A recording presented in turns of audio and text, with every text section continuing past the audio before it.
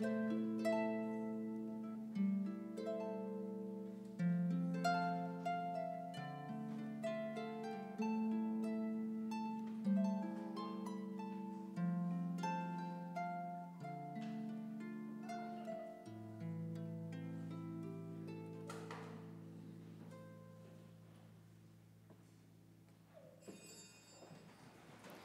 entrance hymn can be found in the hymnal number 1006, Daily, Daily, Sing to Mary.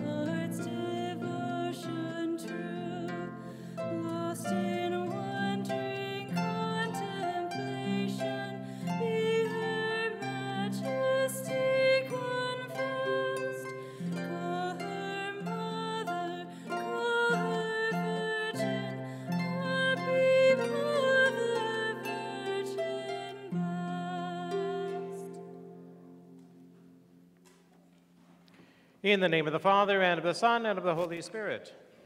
The Lord be with you. Brothers and sisters, on this solemnity of the Immaculate Conception, let us acknowledge our sins and so prepare ourselves to celebrate the sacred mysteries. I confess to Almighty God and to you, my brothers and sisters, that I have greatly sinned in my thoughts and in my words, in what I have done and in what I have failed to do. Through my fault, through my fault, through my most grievous fault. Therefore I ask Blessed Mary, ever Virgin, all the angels and saints, and you, my brothers and sisters, to pray for me to the Lord our God. May Almighty God have mercy on us, forgive us our sins, and bring us to everlasting life.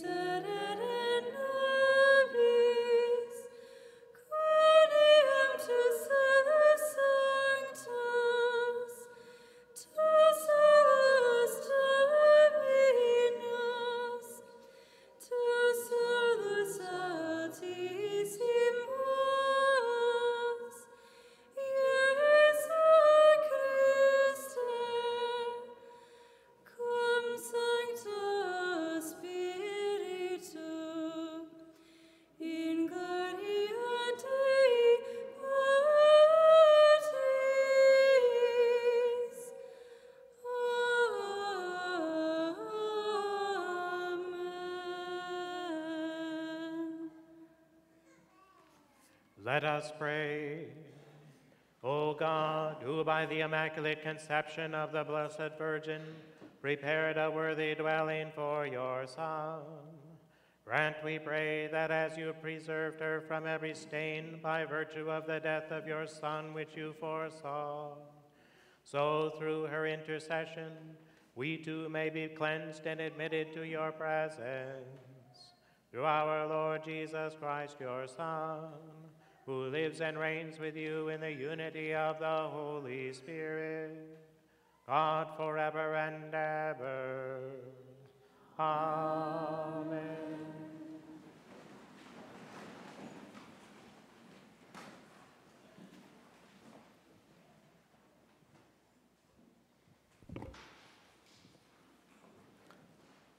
A reading from the book of Genesis. After the man, Adam, had eaten of the tree, the Lord God called to the man and asked him, Where are you? He answered, I heard you in the garden, but I was afraid because I was naked, so I hid myself. Then he asked, Who told you that you were naked? You have eaten then from the tree of which I had forbidden you to eat. The man replied, The woman whom you put here with me, she gave me fruit from the tree, and so I ate it. The Lord God then asked the woman, Why did you do such a thing? The woman answered, The serpent tricked me into it, so I ate it. Then the Lord God said to the serpent, Because you have done this, you shall be banned from all the animals and from all the wild creatures. On your belly shall you crawl, and dirt shall you eat all the days of your life. I will put enmity between you and the woman, and between your offspring and hers. He will strike at your head while you strike at his heel. The man called his wife Eve because she became the mother of all the living. The word of the Lord. Thanks be to God.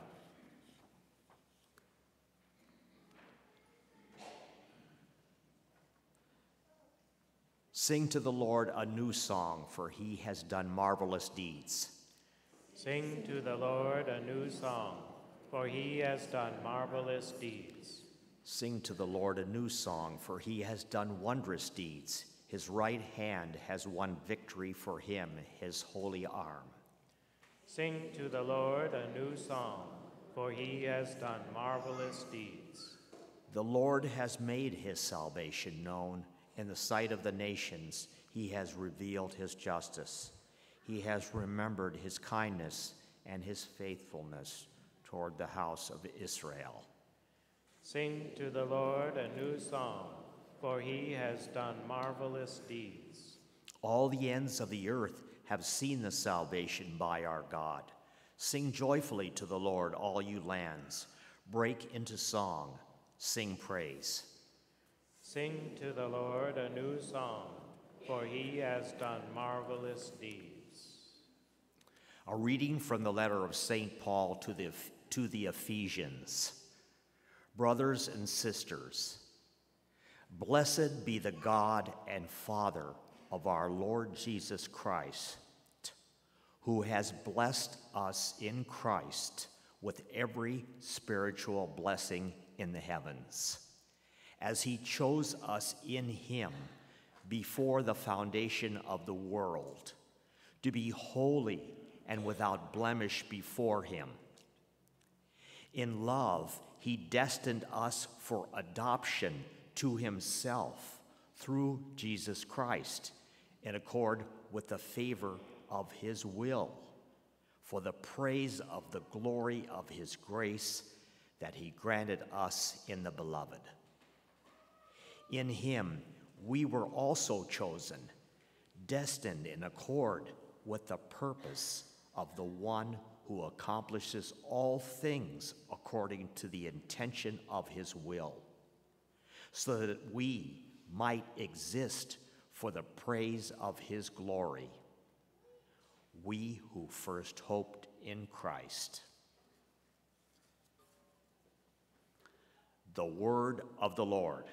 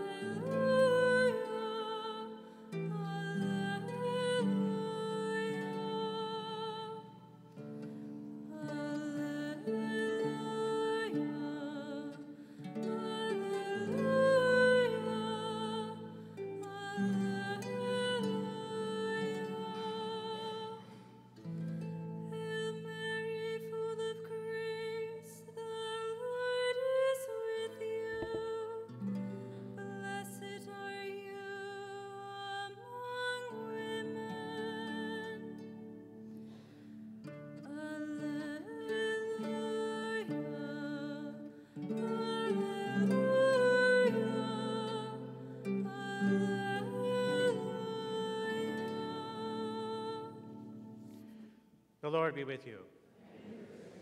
A reading from the Holy Gospel according to Luke. The angel Gabriel was sent from God to a town of Galilee called Nazareth to a virgin betrothed to a man named Joseph of the house of David, and the virgin's name was Mary. And coming to her, he said, Hail, full of grace, the Lord is with you.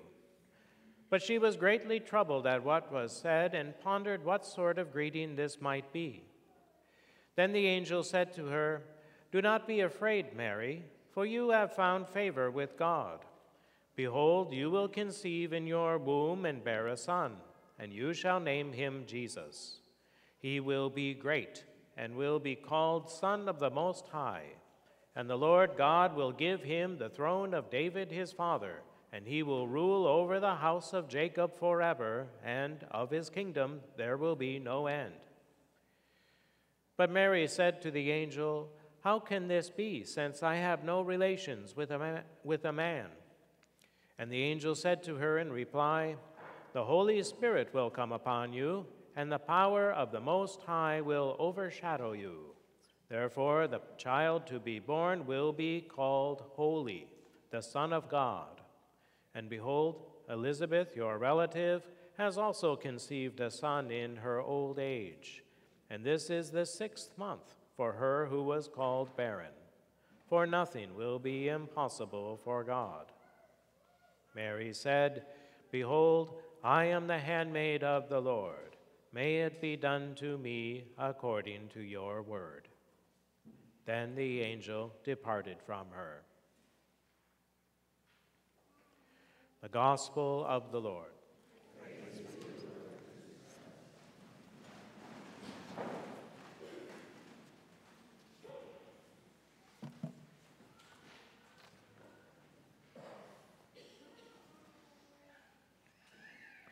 I will put enmity between you and the woman, and between your offspring and hers. He will strike at your head, while you strike at his heel. Words taken from the first reading for this feast of the Immaculate Conception. We don't need to consider the cycles of nature, the seasons, or the instinct of animals for very long before marveling at the beauty of their design and untiring faithfulness to the end God gave them. Nothing is done that is inconsistent with their end. Birds do not refuse to fly out of a fear of heights. Flowers do not become bored and skip their springtime routine, nor do honeybees go on strike because they are taken for granted. Why is it that human beings, who are also given an end to pursue, are so confused in their attempts to live it out in a virtuous life and go to heaven? We are the only species in creation that seems to have no natural inclination to accomplish our end. Obviously, something is broken inside of us, and this flaw can be traced to the original sin, which wounded the human nature of all Adam's descendants, save for one. Today, we honor the one daughter of Adam free of this flaw, the Blessed Virgin Mary. Her unique privilege is known as the Immaculate Conception. From the first moment of her existence, she was preserved by God from the consequences of Adam and Eve's sin. It is a truth of our faith that the, her Immaculate Conception was a special grace given in view of the merits of her future Son. Time is irrelevant to God, and so he not only planned that his Son would enter into our world as a man, but also that he would do so by means of a mother wholly free from all stain of sin. This is so obviously appropriate that Although the solemn declaration of the Immaculate Conception is relatively recent, it had been the belief of the faithful since the very beginning. When Our Lady appeared at Lourdes in 1858 and said to Bernadette, I am the Immaculate Conception, it merely confirmed the ancient belief which the Pope had solemnly ratified four years earlier. Consider for a moment the devotion displayed by our Blessed Mother during her life. She was the first believer in our Lord, the first Christian to whom we look for our example. Each day, as we struggle against temptation and sin, millions pray to our Blessed Mother to help them overcome their trials as they make their way through this life toward their final end. In our first reading, we heard how Eve led Adam into sin. Our Lady has the title of the new Eve because at the Annunciation and throughout her life, she never ceased her work of restoring the relationship broken by the first Eve. She is also considered the new Eve because she takes on the role of mother to all those born into new life through the waters of baptism and those restored to life through confession. In keeping with this, the prophecy of Genesis, referring to an offspring striking at the serpent's head, has always been interpreted as the spiritual offspring of Our Lady who are destined to battle the forces of darkness. This battle appears to be in progress all around us. In moments of temptation, when that battle threatens to make an incursion within us, let us turn to our Blessed Mother for help. She, more than anyone, suffered as a true disciple of her Son, and it culminated in the foretold sword of sorrow, which pierced her motherly heart on Calvary. Although sinless, Our Lady chose to take up her cross in imitation of her Son. As our Lord's disciples, and following her example, we can do no less. Let us pray through the intercession of our Blessed Mother, the new Eve, that she would protect our homes and families from the snares of the evil one and win back any family members who have gone astray, that altogether we could give her due honor and thanks under her title of the Immaculate Conception.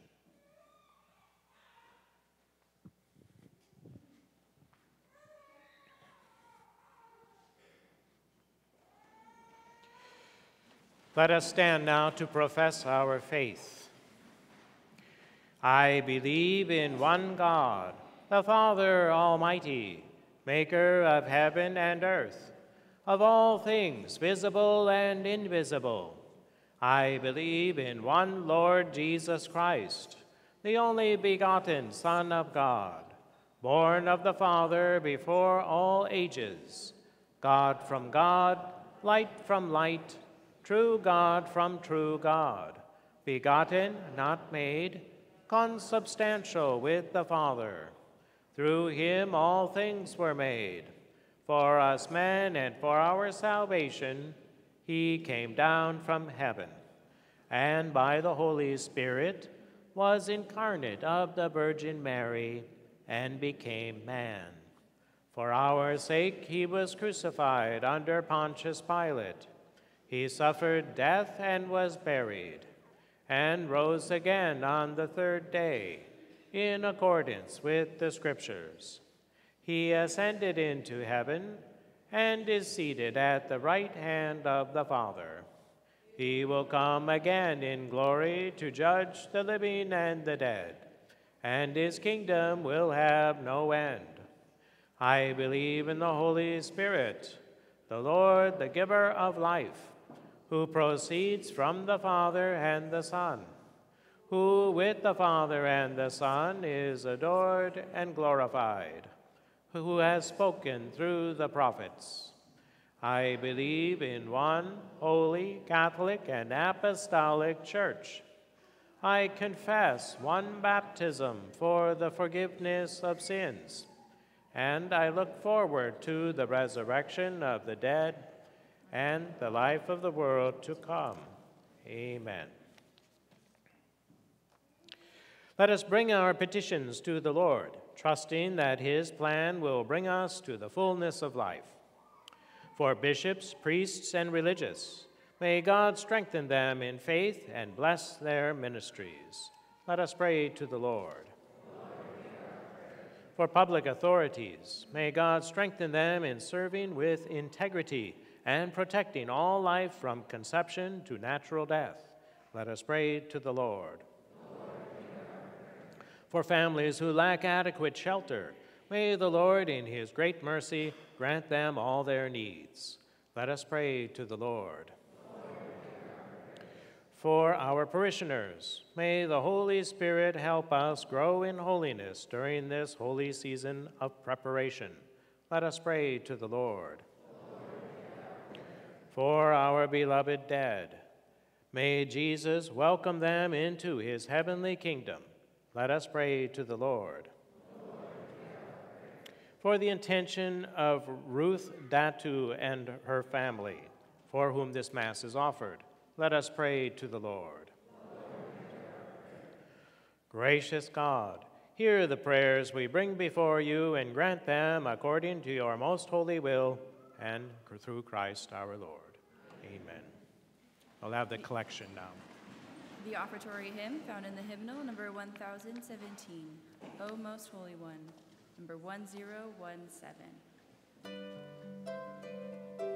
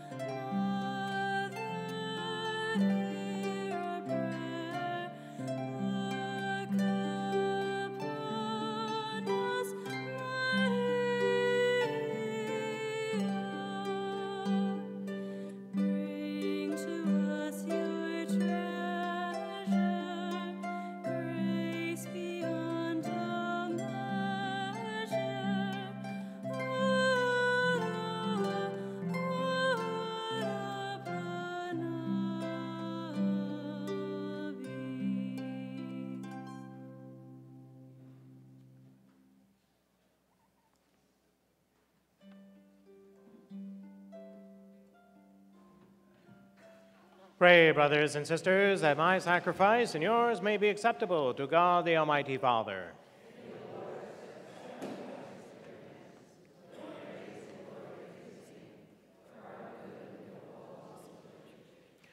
Graciously accept the saving sacrifice which we offer you, O Lord, on the solemnity of the Immaculate Conception of the Blessed Virgin Mary, and grant that, as we profess her on account of your pro- prevenient grace, to be untouched by any stain of sin, so through her intercession we may be delivered from all our faults. Through Christ our Lord. The Lord be with you. Lift up your hearts. Let us give thanks to the Lord our God. It is truly right and just, our duty and our salvation, always and everywhere to give you thanks, Lord, Holy Father, Almighty and eternal God. For you preserved the most blessed Virgin Mary from all stain of original sin, so that in her, endowed with the rich fullness of your grace, you might prepare a worthy mother for your Son and signify the beginning of the church, his beautiful bride without spot or wrinkle. She, the most pure virgin, was to bring forth a son, the innocent lamb who would wipe away our offenses. You placed her above all others to be your, for your people an advocate of grace and a model of holiness. And so, in company with the choirs of angels, we praise you, and with joy we proclaim.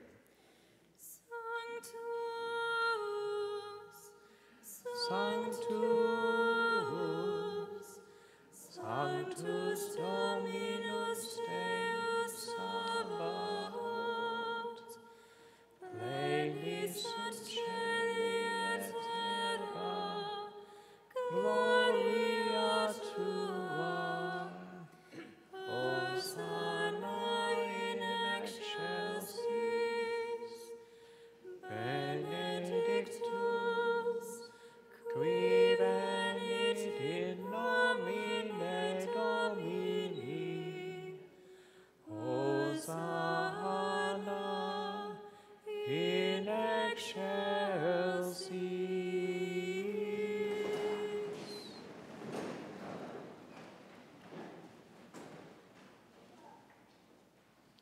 To you, therefore, most merciful Father, we make humble prayer and petition through Jesus Christ, your Son, our Lord, that you accept and bless these gifts, these offerings, these holy and unblemished sacrifices, which we offer you firstly for your holy Catholic Church. Be pleased to grant her peace, to guard, unite, and govern her throughout the whole world, together with your servant Francis, our Pope, Kevin, our Bishop, his assistant bishops, and all those who, holding to the truth, and on the Catholic and apostolic faith.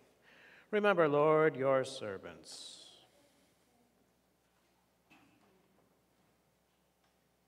And all gathered here whose faith and devotion are known to you.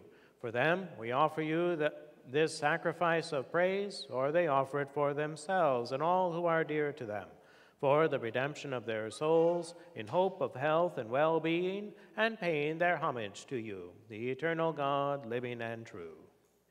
In communion with those whose memory we venerate, especially the glorious uh, ever Virgin Mary, Mother of our God and Lord Jesus Christ, and blessed Joseph, her spouse, your blessed apostles and martyrs, Peter and Paul, Andrew, and all your saints, we ask that through their merits and prayers, in all things, we may be defended by your protecting help.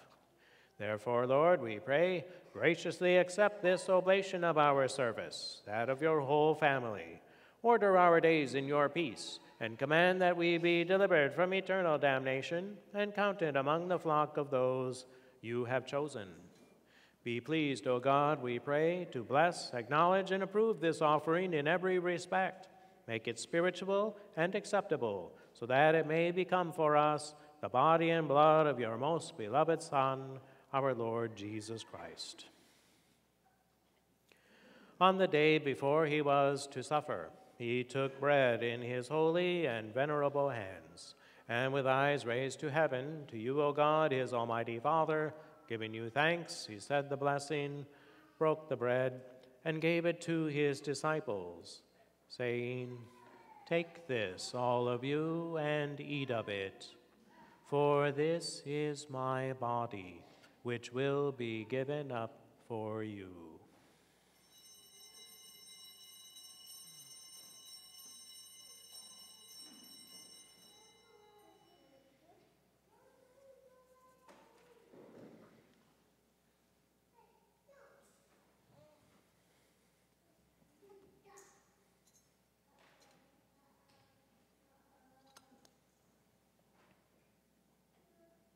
In a similar way, when supper was ended, he took this precious chalice in his holy and venerable hands. And once more, giving you thanks, he said the blessing and gave the chalice to his disciples, saying, Take this, all of you, and drink from it. For this is the chalice of my blood, the blood of the new and eternal covenant, which will be poured out for you and for many for the forgiveness of sins. Do this in memory of me.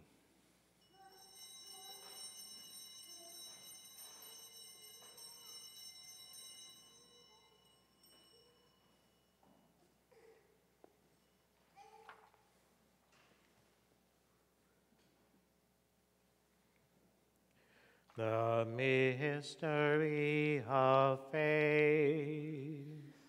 We proclaim your death, O Lord, and profess your resurrection until you come again. Therefore, O Lord, as we celebrate the memorial of the Blessed Passion, the resurrection from the dead, and the glorious ascension into heaven of Christ your Son, our Lord, we, your servants and your holy people, offer to your glorious majesty from the gifts that you have given us this pure victim, this holy victim, this spotless victim, the holy bread of eternal life and the chalice of everlasting salvation. Be pleased to look upon these offerings with a serene and kindly countenance, and to accept them as once you were pleased to accept the gifts of your servant Abel the just, the sacrifice of Abraham, our father in faith, and the offering of your high priest, Melchizedek, a holy sacrifice, a spotless victim. In humble prayer, we ask you, Almighty God, command that these gifts be borne by the hands of your holy angel to your altar on high in the sight of your divine majesty, so that all of us, who through this participation at the altar receive the most holy body and blood of your Son, may be filled with every grace and heavenly blessing.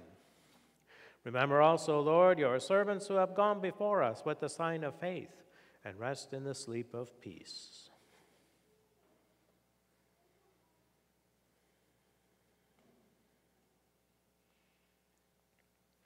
Grant them, O Lord, we pray, and all who sleep in Christ, a place of refreshment, light, and peace.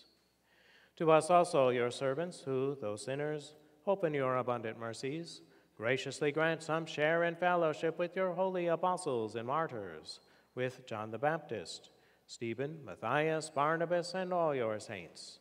Admit us, we beseech you, into their company, not weighing our merits, but granting us your pardon through Christ our Lord through whom you continue to make all these good things, O Lord.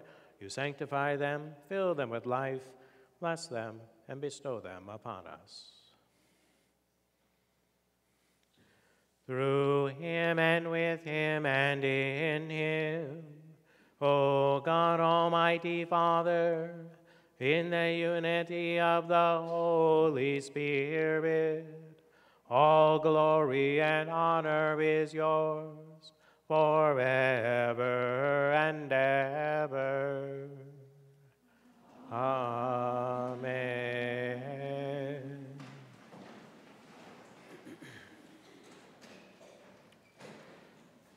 At the Savior's command, and formed by divine teaching, we dare to say, Our Father, who art in heaven, hallowed be thy name. Thy kingdom come, thy will be done on earth as it is in heaven. Give us this day our daily bread, and forgive us our trespasses, as we forgive those who trespass against us. And lead us not into temptation, but deliver us from evil. Deliver us, Lord, we pray, from every evil. Graciously grant peace in our days, that by the help of your mercy we may be always free from sin and safe from all distress, as we await the blessed hope and the coming of our Savior, Jesus Christ.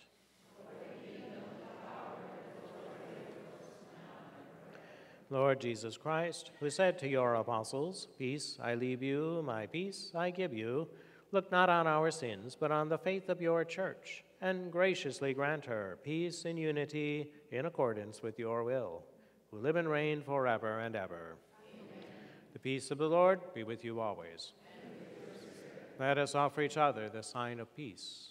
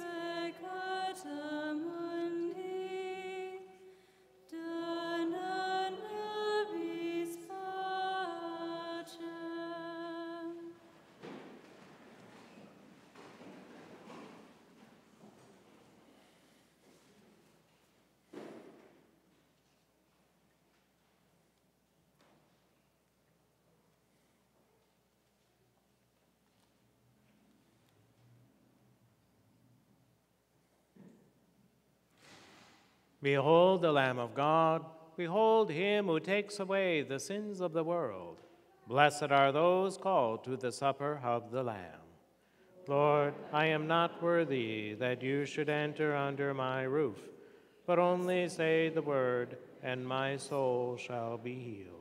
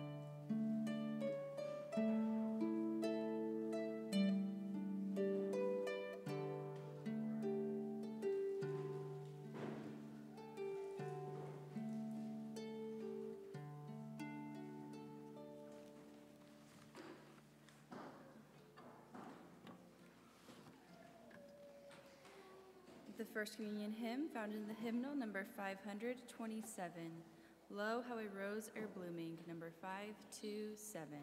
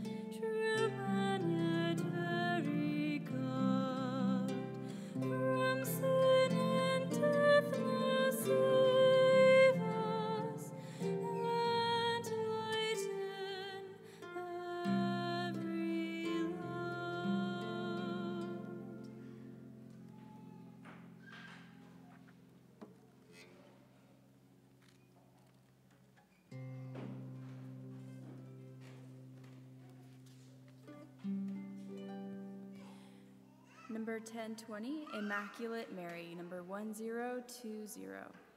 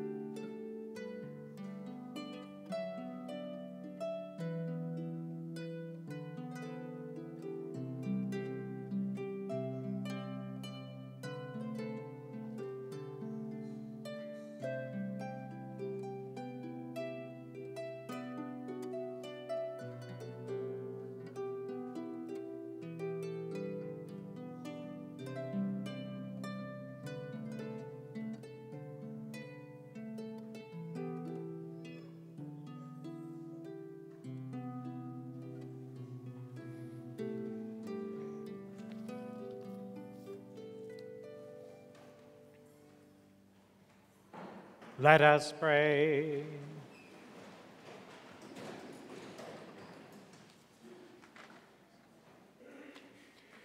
May the sacrament we have received, O Lord our God, heal us, heal in us the wounds that of that fault, from which in a singular way you preserved Blessed Mary in her immaculate conception.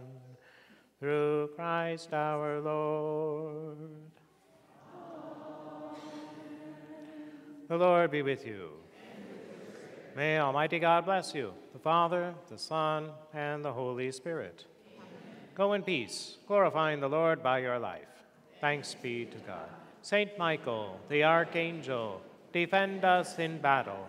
Be our defense against the wickedness and snares of the devil. May God rebuke him, we humbly pray. And do thou, O Prince of the heavenly host, by the power of God, thrust into hell Satan and all the evil spirits who prowl about the world seeking the ruin of souls. Amen.